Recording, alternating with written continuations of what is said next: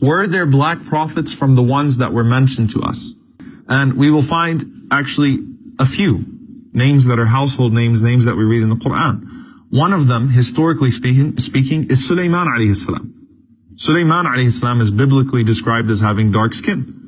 Okay, Bani Israel was not, you know, they, they had uh, various colors, historically speaking. Why? Because their origins were different. Some of them had Arab origins, some of them had some Egyptian origin, and so on and so forth. Sulaiman alayhi salam is biblically described as having dark skin, for example. Um, Rasulullah comes from the lineage of a black woman. Who is that woman? Hajar alayhi salam. Okay, so that's actually the lineage of the Prophet himself.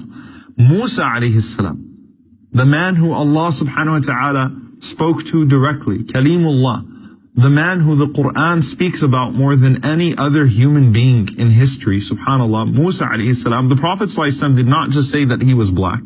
We're not, we're not even talking about biblical athar. We're talking about the Prophet he said that Musa alayhi salam, when I saw him, he resembled the people of Azut or Shanu'ah.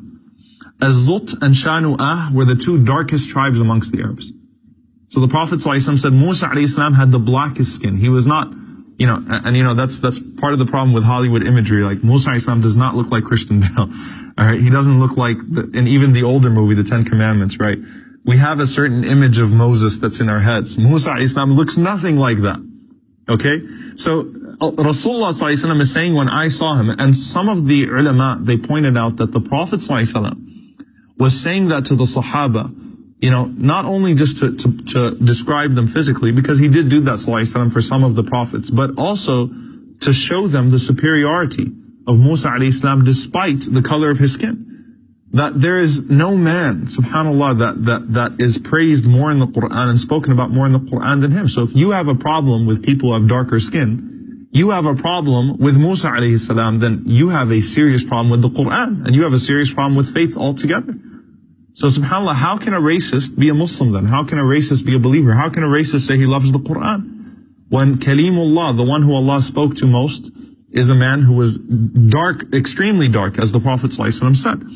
Now, obviously, the most uh, the the prophet who you have the most controversy about always in history is Jesus alayhi salam, Isa alayhi salam.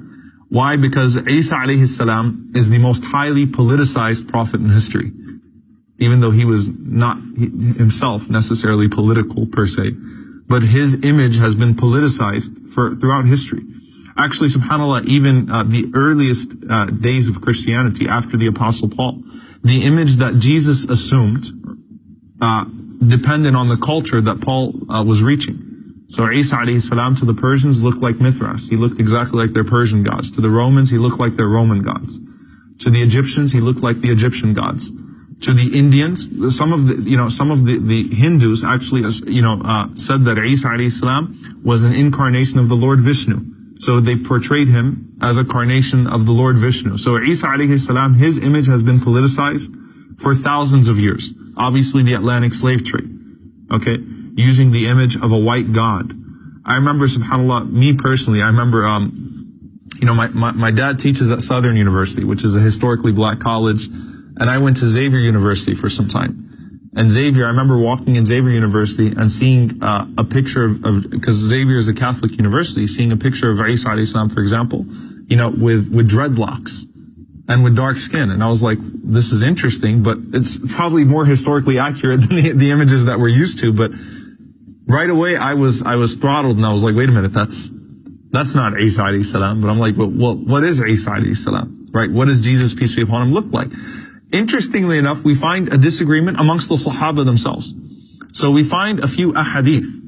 Uh, one of them is from Ibn Umar radiallahu ta'ala anhu. And this is authentic hadith that the Prophet says, that while I was uh, sleeping at the Kaaba, I saw a dark man. I saw a dark man who is the most handsome of dark men that you have ever seen, meaning the most handsome man I've ever seen. Uh, or the most handsome of dark men I've ever seen. So he's he's saying Sallallahu he's praising the beauty of Isa Islam. He said he had ear he had hair that was reaching to between his ears and his shoulders, like the most beautiful of hair that you've ever seen. So he praised the color of Isa Islam, he praised his looks, he praised his hair. And then he said he had, he, he combed his hair and, and uh, water was dripping from his hair and he was leaning on two men uh, who were doing tawaf around the Kaaba. So I asked, I said, Man who is this? So they said, this is Al-Masih ibn Maryam. This is uh, the Messiah, Jesus ibn Maryam, alayhi salam. So he said, then I saw a man with wiry hair and who was blind in his right, right eye as if it was a floating grape. And I said, who is this? And they said, this is Al-Masih al-Dajjal. This is the Antichrist. Ibn Abbas anhu though, he has a narration where the Prophet says, I saw Musa, Isa, and Ibrahim alayhi salam, and Isa salam was of a red complexion, curly hair, and a broad chest. Musa salam was of a dark complexion, straight hair, and a tall stature as if he was of the people of Azut. So that's also a hadith, right? Then you find Ibn Mas'ud radiallahu anhu. Ibn Mas'ud's narration uh, says that the Prophet ﷺ spoke about the Al-Masih al-Dajjal in front of the people and he said Allah is not one-eyed while a Dajjal is blind in the right eye. Why? Because Dajjal will claim to be Allah subhanahu wa ta'ala. So he said Allah is not one-eyed.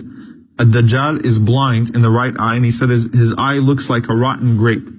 Then he said, Sallallahu while I was sleeping near the Kaaba last night, I saw in my dream, فَإِذَا رَجُلٌ آدَمُ كَأَحْسَنِ مَا يُرَى مِنْ Adam. The same thing that he said in the narration of Ibn Umar, that I saw a man uh, of dark skin who was the most beautiful of all of those with dark skin that I'd ever seen, and with the most beautiful of hair of all of those that I'd ever seen. And he basically, it, it perfectly coincides with the narration of, uh, of Ibn Umar radiallahu ta'ala anhu. Then he continues to describe ad-Dajjal as well. So what do we do here? Because we have a narration of Ibn Mas'ud and Ibn Umar that are authentic, where the Prophet ﷺ is describing Isa ﷺ as having dark skin, and then you have a narration of Ibn Abbas, where the Prophet ﷺ is describing Isa ﷺ with red skin, which is, uh, you know, actually white skin. Okay, Ahmar would refer to very white skin. Uh, there's another narration from Umar al-Khattab radiallahu anhu, also in al-Bukhari, where he says, لا والله ما قال النبي صلى الله عليه وسلم لعيسى أحمر. He said, I swear by Allah that the Prophet ﷺ did not say that Isa ﷺ had red skin.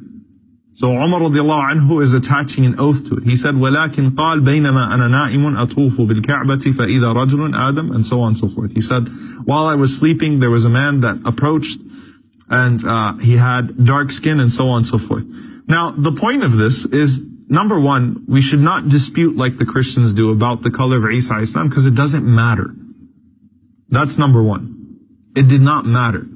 You have conflicting narrations. The stronger of them, obviously that Isa Islam had dark skin, which would be more historically accurate, but it doesn't matter. That's the point here. It was a non-factor and it's part of the wisdom of not portraying the prophets of Allah. Okay? So, uh, you know, you have historical evidence uh, Ibn al-Manzur, he says that Hajar, Musa, Isa, and Adam alayhi salam, because Adam means dark, actually in the Arabic language. That's how the Arabs used to describe someone with dark skin. So Adam alayhi salam. And then you have the theological perspective, and as Ibn al-Manzur says, that the Sahaba did not care to ask much about this. And this is very significant because if you look at the companions of the Prophet ﷺ, they used to ask him about everything. But this was not a concern that they had. They would not ask the Prophet ﷺ what color was Ibrahim. What color was this prophet? What color was he? Because it simply did not matter to them. So we should not portray them and it should not become an issue to where it becomes politicized. Some of the other prophets that are mentioned in the Quran or, or figures, uh, you have Dhul Qarnayn. Ali ibn Abi Talib radiallahu anhu and Ibn Abbas, they both say that he was uh, a black king. Now obviously Dhul Qarnayn is a controversial historical figure in and of itself because is he Alexander? Is he Cyrus? Allahu alam. Again, it doesn't matter. The point being though, at this point now, because we know that there are prophets that Allah mentioned and there are prophets that Allah did not mention.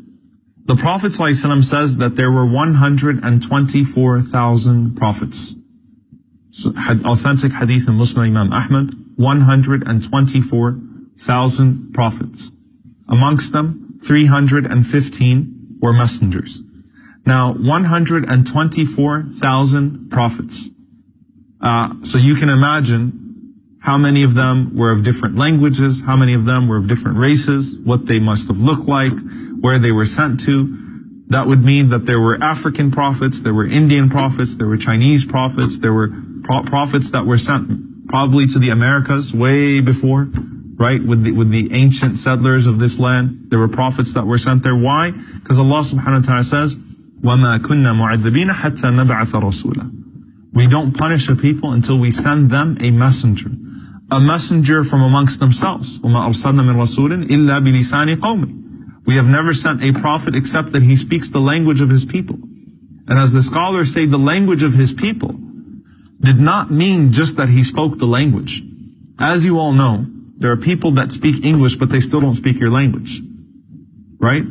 We were talking about this earlier. As Sarah Palin would say, they don't speak American. All right. so there are people that don't speak your language, but they still speak your language, right? It's a different accent or, you know, they don't relate to you. The slang is different. So they might speak your language, but it's not really your language. So what did the ulama say that Allah means when he says, illa bilisani qawmi? That means a person who walked with them, spoke with them, a person that was just like them, a person that they could relate to, right? the whole point of, um, you know, مالي هذا الرسول يمشي في يأكل الطعام ويمشي في الأسواق. What is it with this prophet that walks in the marketplace, uses the restrooms, eats, and so on and so forth? Allah wants to send you prophets that you could relate to. So when Allah would send prophets in the past, and Allah subhanahu wa ta'ala was sending them to all, people all over the world, Allah was sending prophets in every language and in every color.